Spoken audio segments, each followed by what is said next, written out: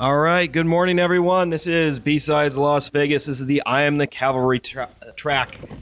And this is Hacking the Pentagon How a Rebel Alliance Shifts Culture to Protect National Security. And we have uh, Brett and Harlan talking today. Uh, a couple quick announcements. Uh, if you could go ahead and hold your questions till the end of the talk, we'll go ahead and pass the microphone around to you and make sure that you are able to be heard online when you ask your question. So just raise your hand and we'll come to you. Uh, please go ahead and silence your cell phones now. Again, we are streaming online, so we really appreciate if you go ahead and silence your phones now so they're not interrupting the speaker. Um, we'd like to thank our sponsors, especially our inner circle sponsors, which are Critical Stack and Valimail, um, and our stellar sponsors. Uh, that includes Cylance, Microsoft, and Robinhood, just to name a few. Um, their support, along with our other sponsors, donors, and the volunteers, they make this event possible, and we really appreciate all of them. Um, and if you have any questions, again, please hold them till the end. And without further ado, thank you very much. Great. Good morning, everyone. Um, so I'm Brett Goldstein. I'm the director of the Defense Digital Service, and I work at the Pentagon, and now I'm in Vegas. So thanks for having me. Um, this is my friend Harlan. He's an engineer on our team, and we're going to tell you a whole bunch of stuff over the next hour. So it's a story that will essentially have three parts. I'm going to give you my background. It's kind of weird and sort of like hopefully that'll be sort of morning fun. And then I'm going to talk about DDS and why we aren't what you think we are and how it's completely weird that we are in the middle of the Pentagon. Um, and then three, Harlan's going to walk through some projects, which are pretty cool. So thanks for coming. So, you know, let me sort of start and be like, you know how in life there's certain things you just know. Like, like to be honest with you, I know I will be a Red Sox fan forever. Okay, so that's a given. That's how we roll up there. Um, there are also other things that I I thought I knew. One was I would never move to Washington D.C. Okay, so I knew that, right? Two, I'd never be a full-time federal employee. Okay, those are two really important things, and well, I'm still a Red Sox fan. So, and that part's going for me. Now, okay, so where do we start? So, where do I come from? I'm a computer scientist, right? I was one of, people know OpenTable? Yep. So, I was one of the dudes who built that. So, in the late 90s, we were a bunch of idiots in the basement, and we thought that there was a better way to do that, and we went up against the restaurant industry, right? And we wrote horrible software, and all the maitre d's out there hated us like it was like we have our big reservation book and it's amazing. And i'm like there's this thing called the computer and that could be really amazing as well. Um, so i spent seven years of my life building that company. And so along the way um, 9-11 happened.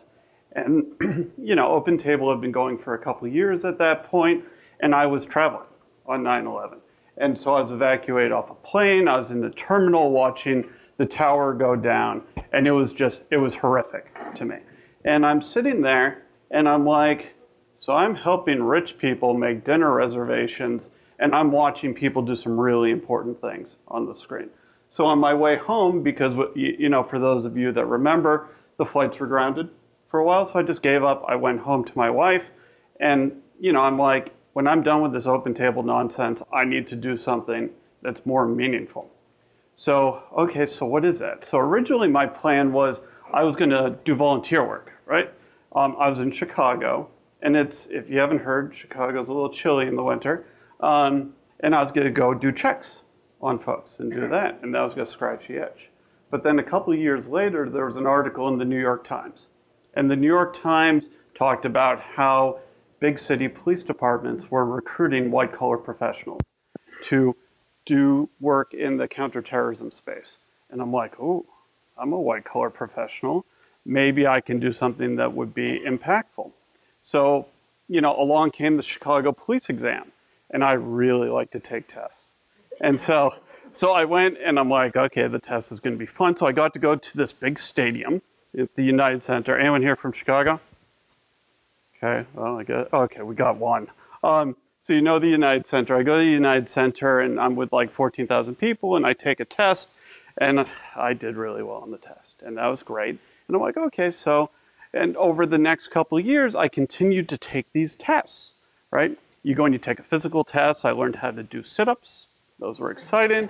Um, you, you, know, go for a little run in a circle. I took a psych test. I had a medical exam. They did a background uh, check on me where they came and they're like, do you really want to be the police? I'm like, yeah, it was in the New York Times. Um, and uh, they're like, oh, New York Times, great. Uh, so, you know, after, at this point, OpenTable is a multinational. Like I'd been opening markets and we built it and the data center was great and everything was wonderful. And, um, you know, I get this letter. It said report to the Chicago Police Academy. And I'm like, in two weeks. I'm like, okay. So that seemed, so I'm like, it's time for me to get out of OpenTable and then um, do something that has some meaning. So I actually went to the police academy. So I went in as a 31 year old recruit. And so 31 is important because I was 10 years older than everyone in the recruit class. And they had actually been, so I'd figured out that whole sit up thing. Eh, they're big on push ups. And that was something that was new to me. And that 10 year thing made it fun. So I have great cop stories. I spent six years in the academy. I got out, and then um, I was a valedictorian, which meant I got to pick where I got sent. Remember, I'm good at tests. Um, and I went and I worked on the west side of Chicago. For those of you that don't know Chicago, there are two areas which are unfortunately the most violent, the west and the south side of Chicago. And then I learned about the real world. And I spent um, my first year and a bit as a beat cop out there. And then, um, you know, there's just so much I learned about the challenges that are out there. And then overnight, the department, I guess their old computer caught up and it said graduate degree in computer science. Um, you, you know, the whole OpenTable nonsense and all that, I got transferred overnight back to headquarters and the chief of police assigned me to use data and ML to better identify where and when homicides would occur. So I went from being a beat cop to my secret was outed. So I spent the next four years um, developing techniques to identify where and when homicide would occur in Chicago. I lived and breathed that. How do we every day prevent where violence would occur? Part of it was computer science and data science, but part of it was we would actually go in the field with interdiction units to prevent people from being killed. And this was one of those fascinating things where, um, you know, everyone said you can't change a big bureaucracy. And, you know, CPD has been doing it this way for 100 years. They'll never change. But you know what? When you have an opportunity to make a business smarter and change the way they're doing it, and your measurement is how many lives you save, you go up against the machine. And so I lived and breathed, all I did was homicide for a while. Okay.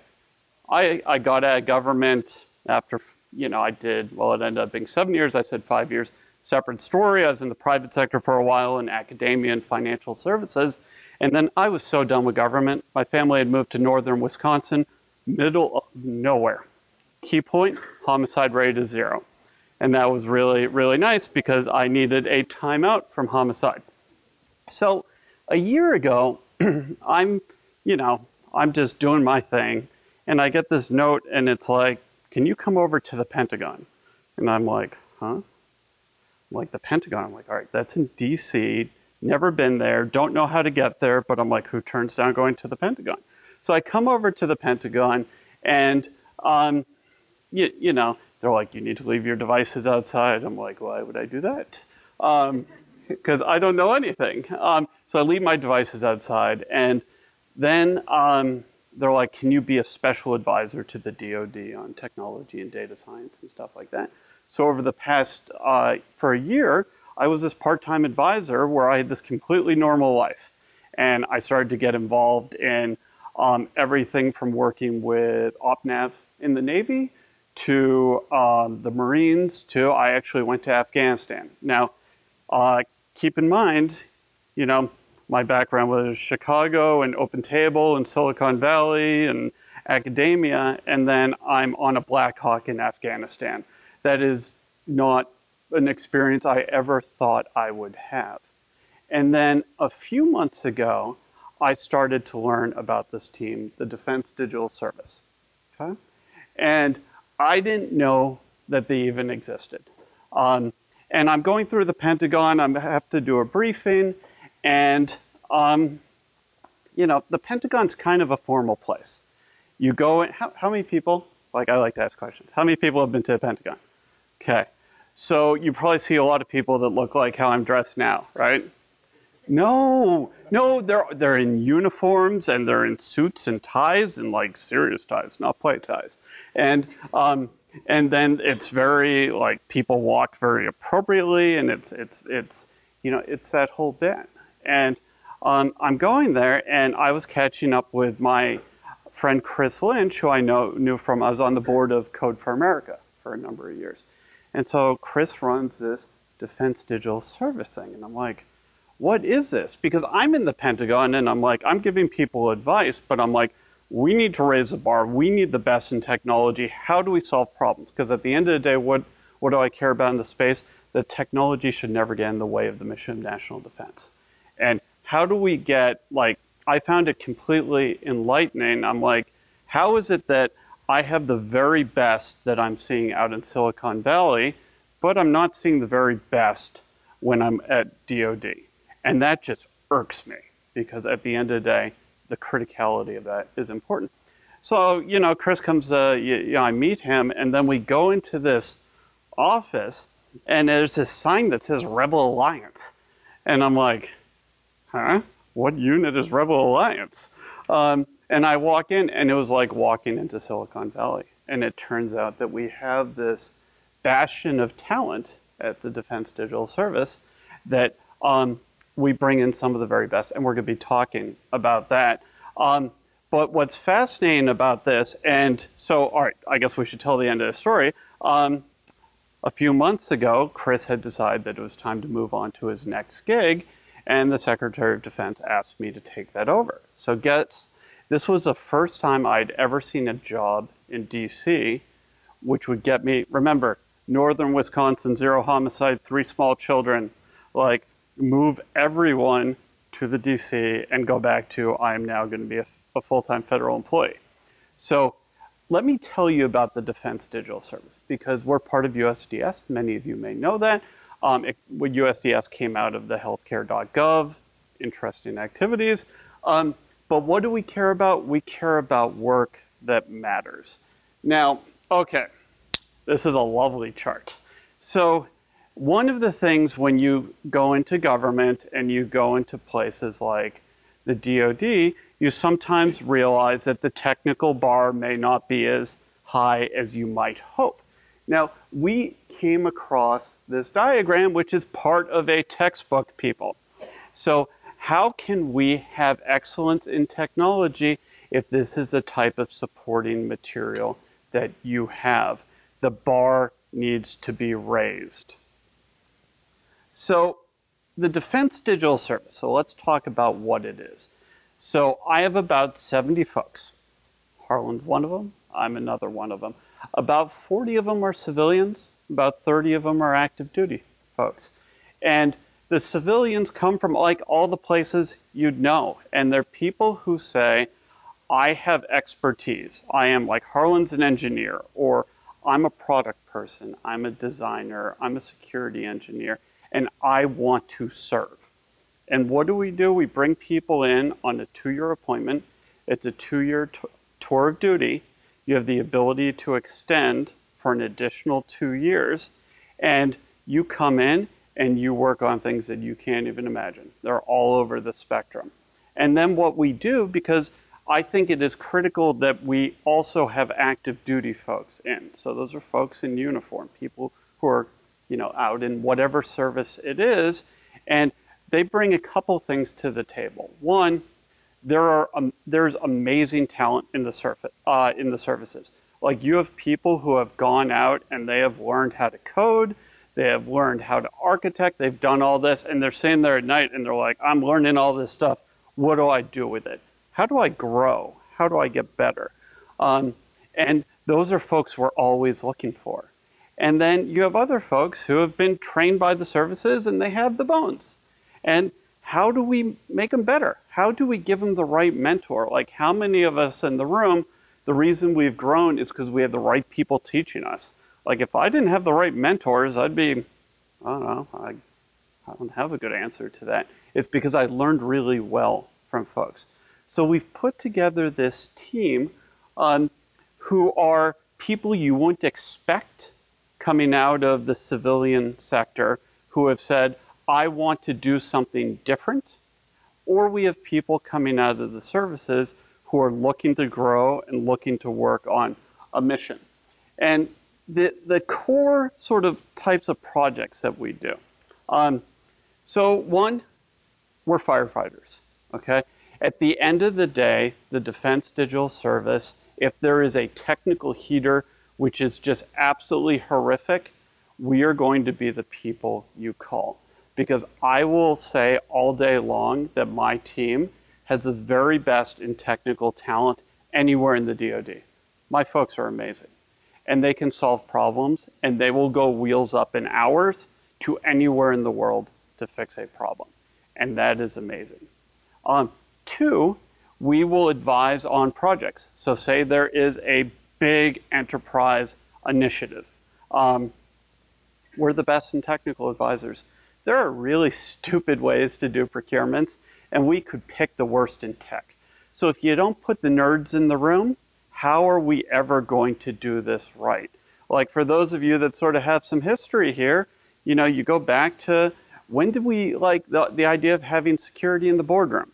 Like there was a day long before that. I remember in the early days of OpenTable having to sit down with the board and justify cybersecurity expenditures. And they're like, why would we spend on that? I'd be like, oh, because this nonsense is going to be hacked, yo. Um, and, you, you know, but the world has changed. So how can we do massive procurements without having that expertise in the room? Then there are things that are more mission related. So as I mentioned, I've been in Afghanistan three times. We're working on a project for force protection there. So we go wheels up, we go into combat zones. It's a voluntary activity for the team.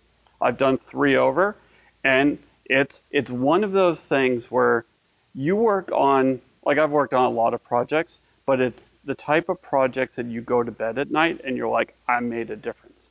Because what are the types of themes here? One, we do things to make active service um, folks' life better. Great example is a project called Move.mil.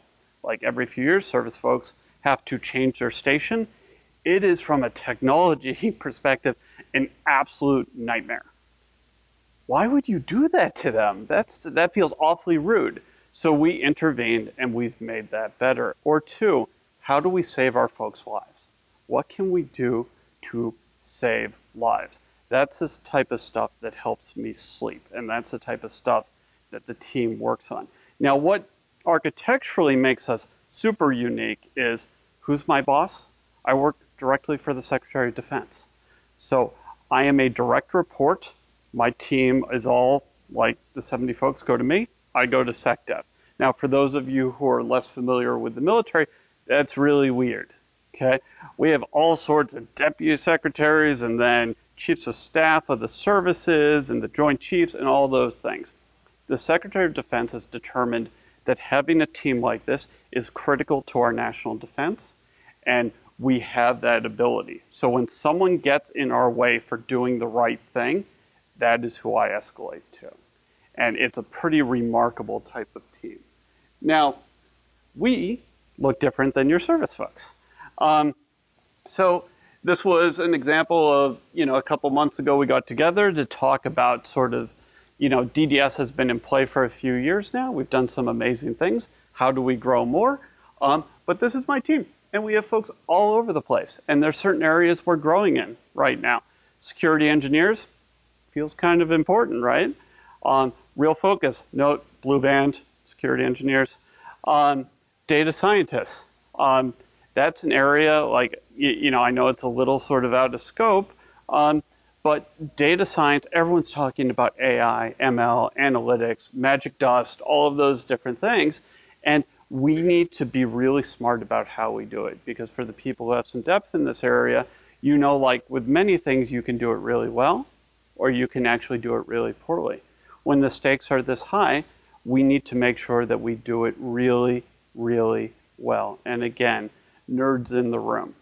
Um, this is our life.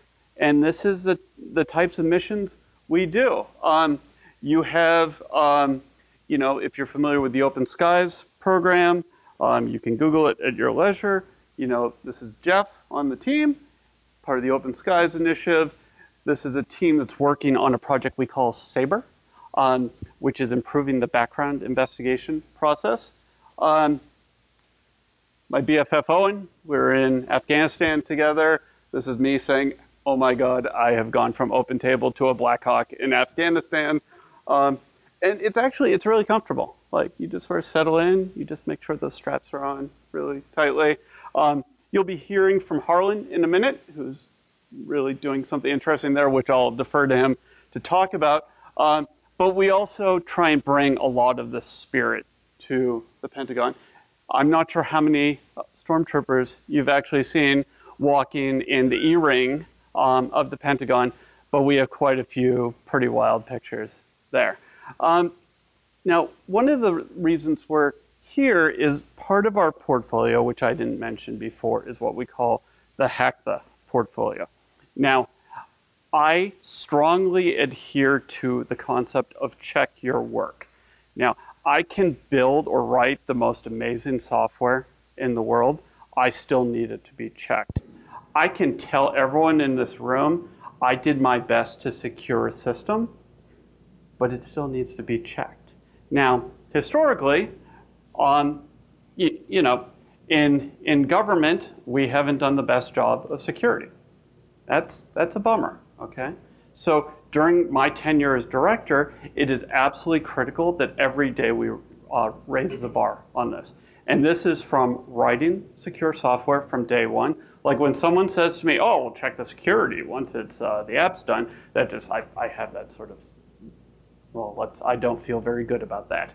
Um, you know, the concepts of secure engineering from day one, and it's a continuous process, it's not a checkbox process, but also the concept of embracing the security researcher community and checking our work. So it started as we had hacked the Pentagon, so hack the website. Um, great, we found lots of stuff, and it raised the bar. Now we have things like hack the Air Force, hack the Army. We have all sorts of different things. We actually have a hack the event going on at DEF CON. We have a, a rather big presence at the Aviation Village for those of you who want to play with an F-35 simulator, and uh, you can see my mad skills flying. No, not true. Um, you know, we'll be over there. But there's a concept that DoD needs to embrace, and I will advocate all day long. We need to embrace the security community. We need to check our work, both for public and protected types of entities, and be able to raise the security bar. You are our friends we need to build that trust between the two of us so we do our job better. And by we, we have a series of partners for these bounty events, and that has allowed us to do it so we, for the public pieces, we have a great process for things that are more secure. They help us to manage the security researchers, have a secure method in, but at the same time, that allows for anonymity. So everyone here can do their part. You have the anonymity. We raise our bar. We both win. So you're going to find that within the DDS portfolio, this is super important. Every day we're doing this battle. Um, Harlan's going to spend a few time, a few minutes talking about a couple of our different projects we have going. And then as we wind this up, um, we're looking for smart people to help us think about this. Um, whether it's joining some of the efforts for um, doing bounties to learning more about what we're doing. So you are the folks we want to work with. We are the nerds that you will like at the Pentagon. So it can be a really great relationship. But anyhow, let me turn it over to Harlan, and he can go from there.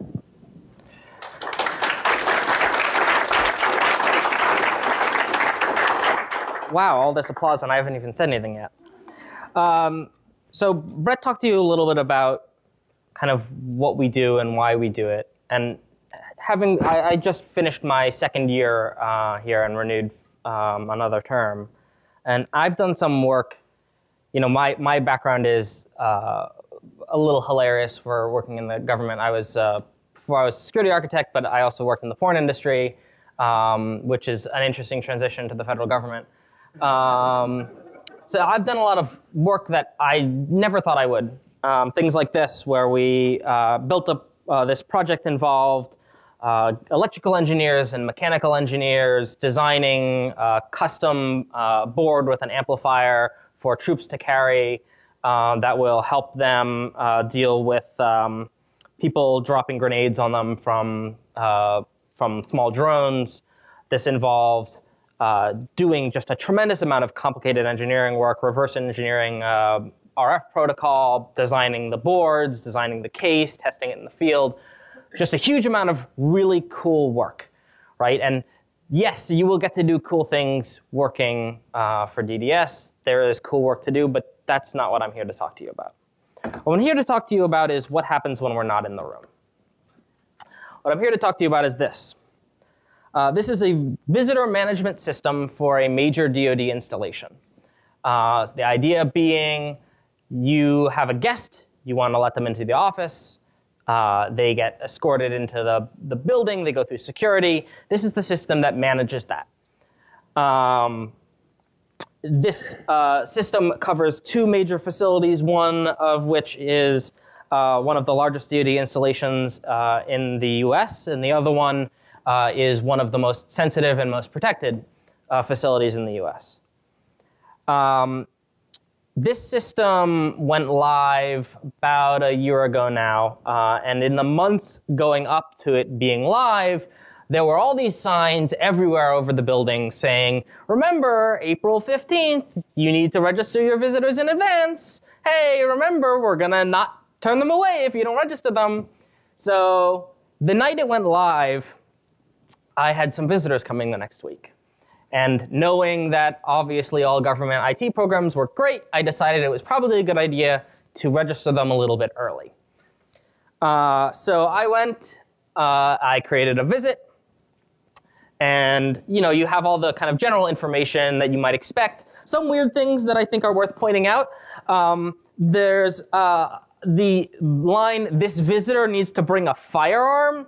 Not something you see on most kind of visitor management systems. It seems a little odd to me. Or how about the visitor is a non-US person? How many people here know the citizenship of all of their friends is just like a matter of course? It's like a little weird, but okay, sure, I can, I can deal with that. And then I want you to pay attention to this little box over here. It says guests, find a guest. This will display all guests that you previously invited.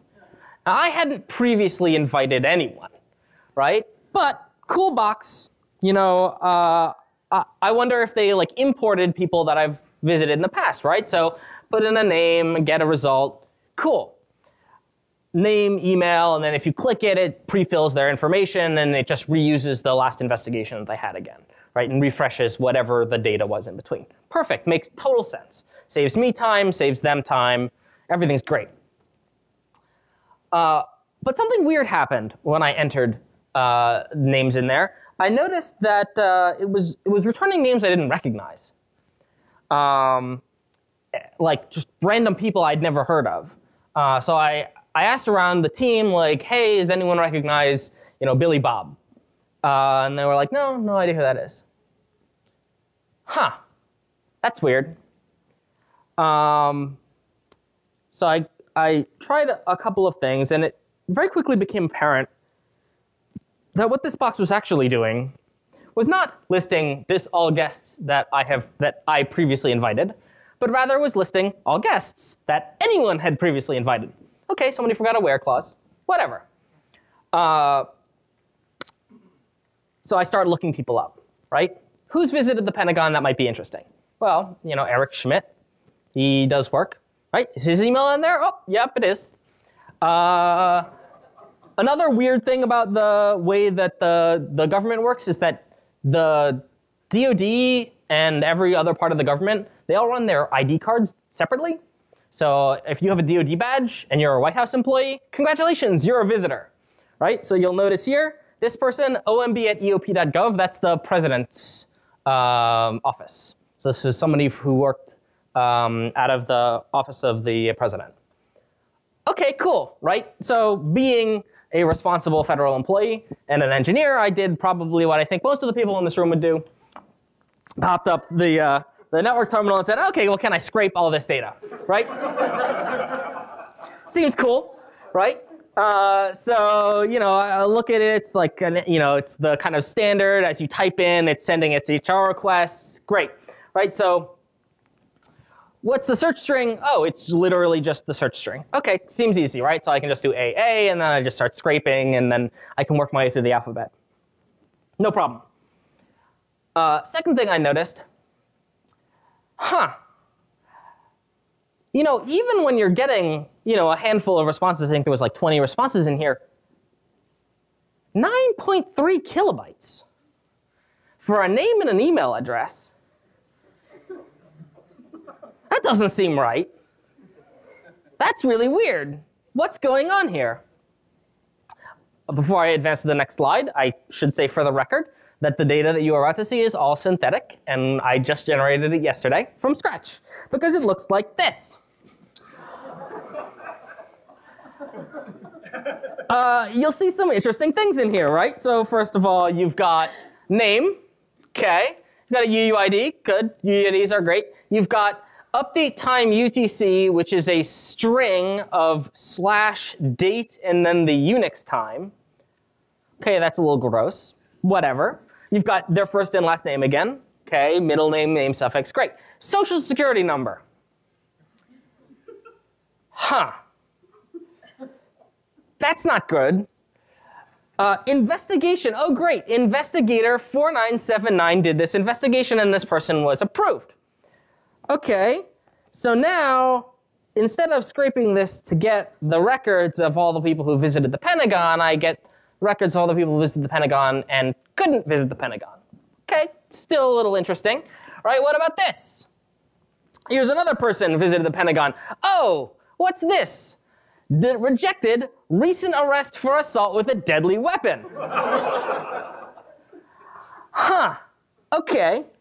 So instead, I have this, this application that is giving me their name, their email, their social, right? Who, okay. But also, like, I can just look up at the criminal history of anyone who's visited the Pentagon in the last however long it was, right?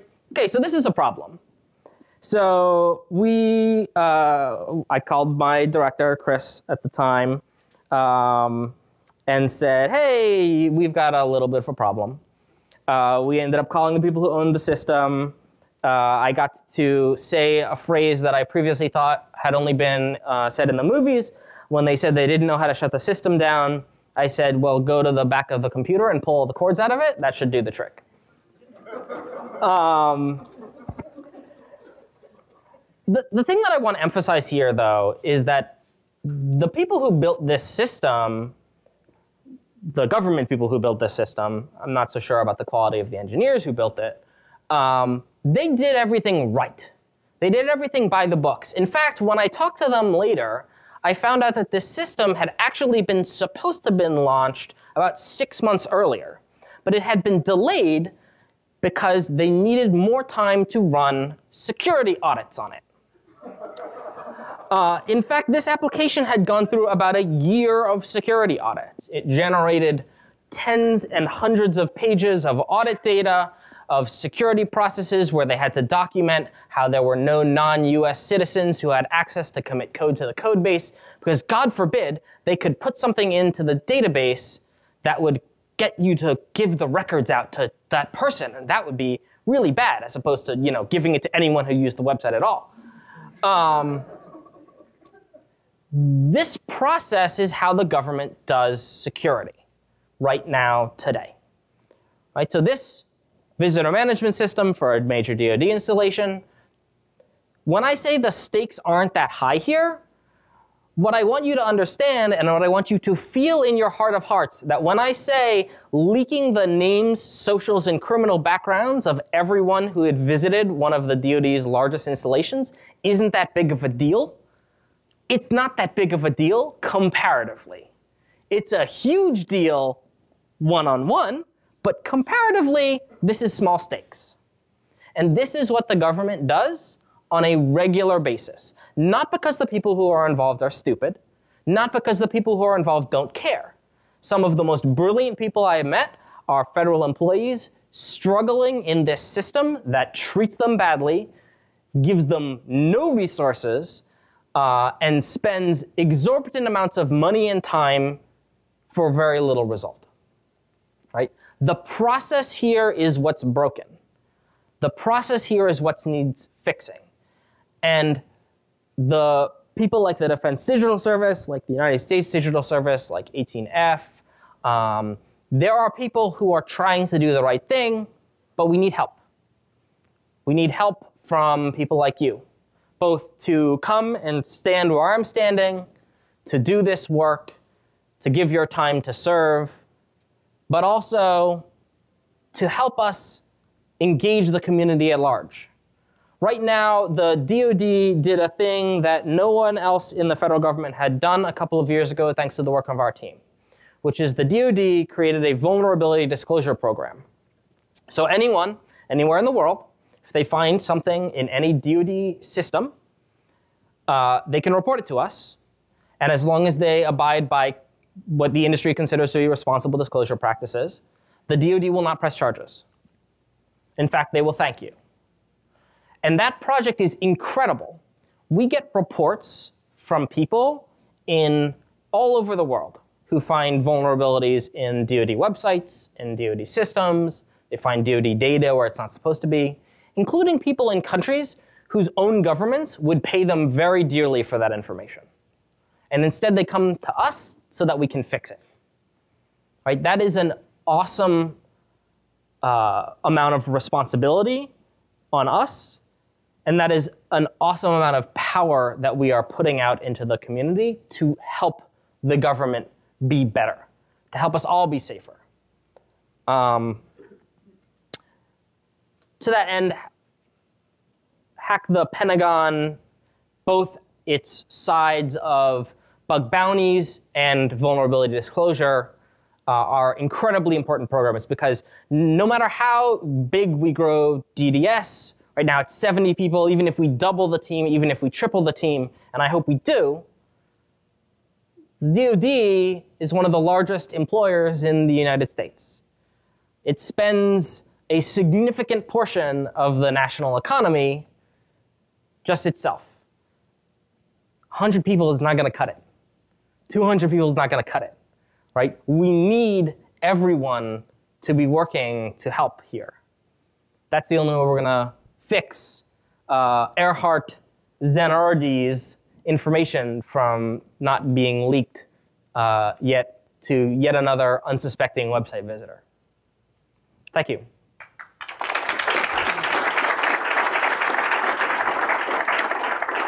Do folks have questions? Uh, wait for the microphone. Come to you, one second. So, do you have any plans, or um, are is is there anything in the works right now to work with the reservists? I know that you have active duty folks working on it, but it seems like a reservist would have a very good mm-hmm. skill set to uh, to help with this. We do. We we have I think one or two reservists mm-hmm. on staff right now. Um, there, it can be because the reservists aren't in full time getting them activated to do work can be a little dicey sometimes because of the rules around reservists. Um, but yes, it is definitely something that we're interested in. And if you are or you know somebody who is a reservist and you might be interested, uh, please reach out. Uh, we can re- we can talk to your commands and see uh, if we can come to an arrangement. So in general, like yeah, like we like to meet amazing people who want to do things. So I, I like to say, if you're amazing, reservist, whatever you are, then make it our problem. Like there's nothing that gives me greater joy than a challenge and a, you know something like that to make it work. Uh, hi, thank you for the presentation. Um, what is your guys' impression of uh, uh, companies like Kessel Run or Futures Command? Uh, do you interact with them? Like, yep. what do you think their odds are for success, et cetera? Thank you. So I was out at Futures Command last week so I met with the CG, the commanding general, and you know we sit down and he gets it. It's just the thing that I'm always encouraging folks is the problem is very large. So let's just pick a couple and deliver on some real things fast. Um, so I was impressed with Futures Command. I think it's great what they've set up in Austin. I met some of the what's it, AAL Army Application Lab, and there were some good folks over there trying to, you know, tackle some interesting problems.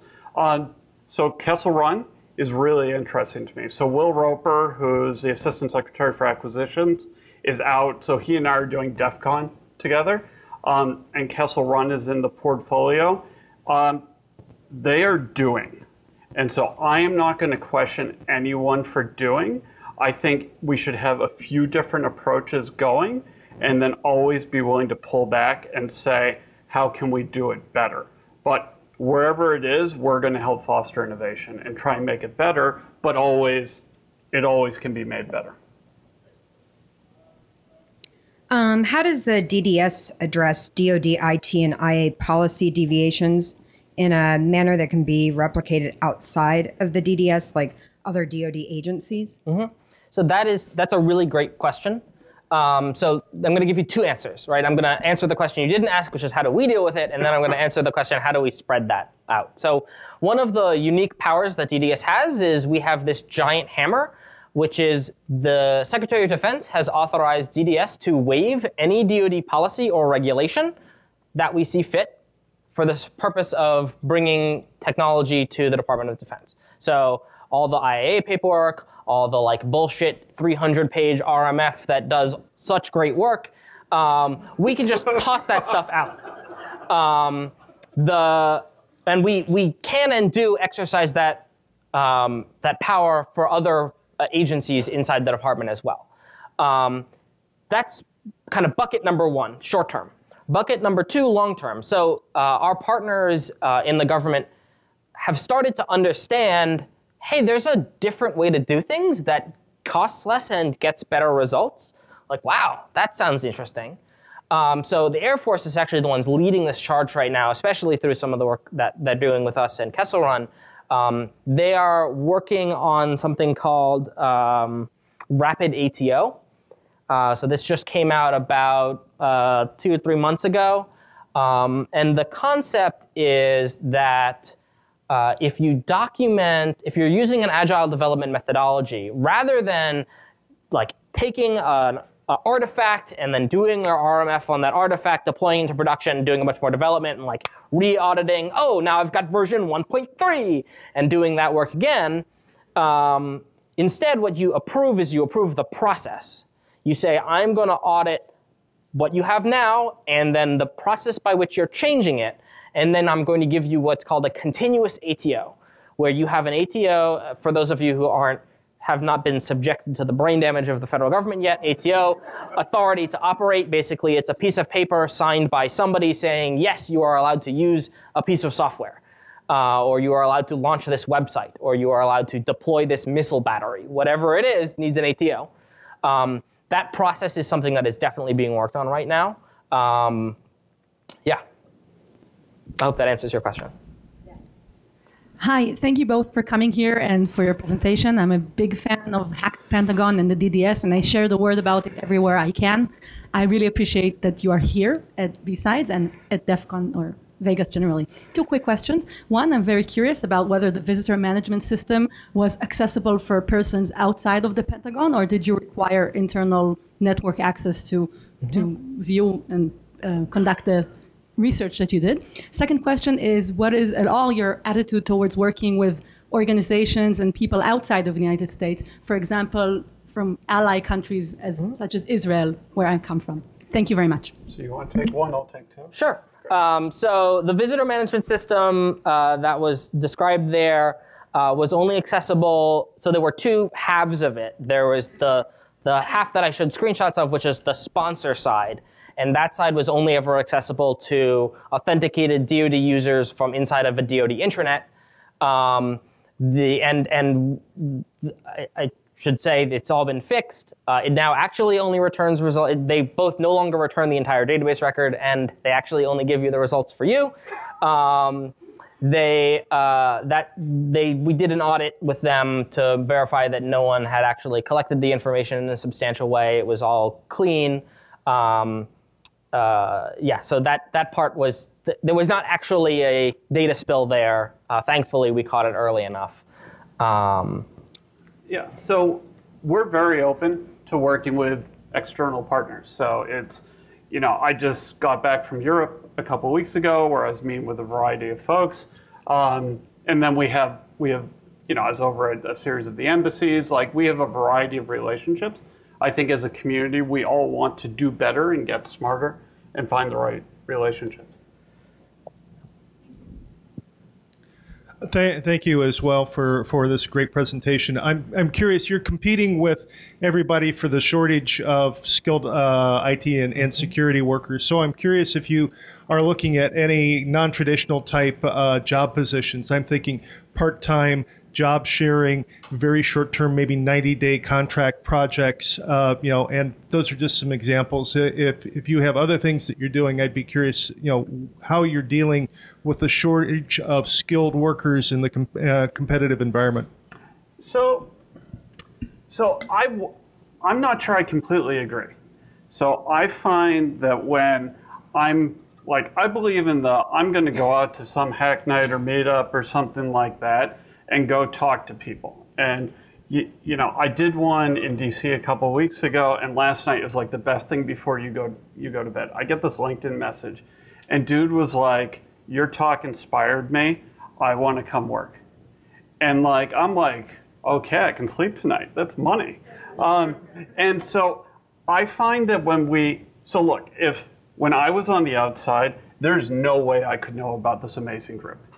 Like, what are you gonna do? Go to USA Jobs and sort of poke around? Like, like it's just when when I sit down and I talk to folks and I'm like, I work with the most amazing people in the room. And there's Harlan, you know, in the back because I need to point out my folks. I have Roro in the back in the in the shirt.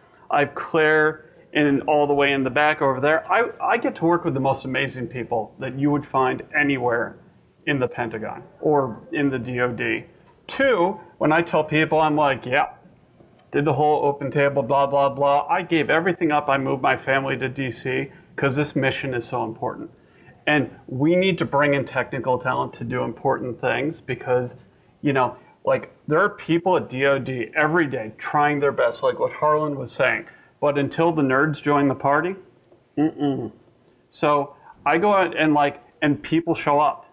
And so, you know, the core, like, the more I can do that, the bigger our team gets. And I've been so impressed. And we do, for extraordinary circumstances, there's something in the G called an SGE, Special Governmental Employee, where we are able to leverage like certain really niche expertise. But between those two, like, we have amazing folks. I just want to add one more piece on, um, which is that uh, there are many large companies now offer leave of absences to go do public service work. Um, so I know several of the big like FANG companies now offer the ability to take a one or two year leave of absence from your job uh, and you and be able to come and serve. And, and it, you know it. Th- th- I think it's very important to emphasize that this is not a, meant as a career.